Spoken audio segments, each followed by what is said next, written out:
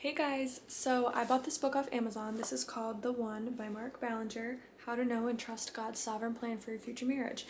If you are wanting to get married one day, if you are in your singleness, or if you are in a season of stillness because you're like dating is just trash, like the men are just trash, the women are just trash, like this whole thing is just trash if you're in a season of stillness, I encourage you to get this book and apply these principles to your dating life because they are taken from scripture, applied in this book, and then you apply them to your life. And this has really helped change my perspective on why it's important to pray for your future spouse if that is what God has for you. We're going to just go over a couple things that I pulled out from this book that I think are extremely important because I personally believe and I've seen the power of prayer, and God wants us to pray God God wants us to walk in this relationship with him. It's the same thing if you have a friend, right? If you talk to your friend on the phone and you get to know them, you're going to understand their voice. You're going to hear their voice. You're going to recognize their voice, even if you were in a, a, gym full of people that was really loud, because you are familiar with their tone. Like I would be able to pick my friend's voice out in a huge crowd if, if like they were yelling my name or if she was yelling my name because I know her voice, or if my sister was, or whatever, whoever the person because you know them and it's the same thing with God. Whenever you start to spend time with him, you will start to hear what he tells you to do. And this is extremely beneficial because guess what? This will save you time in relationships, in friendships, with finances, with different jobs, with different decisions. So that's one thing that I just wanted to get out of the way. So one of the things that you can start praying for for your future husband is for their heart to be strengthened for the pain that they've ever experienced and gone through to be turned into purpose. Because pain is so powerful whenever it's transitioned into purpose. So you can pray that over their life. Um, you can ask God to put a, um, you can ask God to break their heart for what breaks his heart.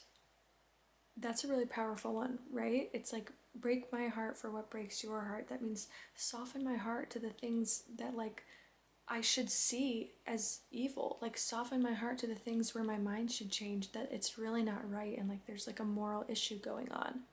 I had this realization with abortion recently. I used to be pro choice and like I'm more pro life now. Kind of pro choice in the fact that like you have a choice to have sex or not to have sex. Like let's keep it real. That's a whole different video. Um, and we will get into that, trust me. So, one of the other points that you can do is you can pray for their purposes and for their dreams and their desires. You can pray for, like when I pray, I ask God to um, awaken those dreams that He's put inside of their hearts, awaken those visions that He's placed inside of their hearts, and help them be motivated to go after those things so that they can feel like they have purpose, so that they feel like they have, um, you know, that calling on their life for God to ignite a passion in their heart to get closer with God, for their relationship to flourish, for their relationship to get deeper and thrive, um, to protect them from the counterfeits. So, just like counterfeit bags exist, all my designer ladies, you know what I'm talking about?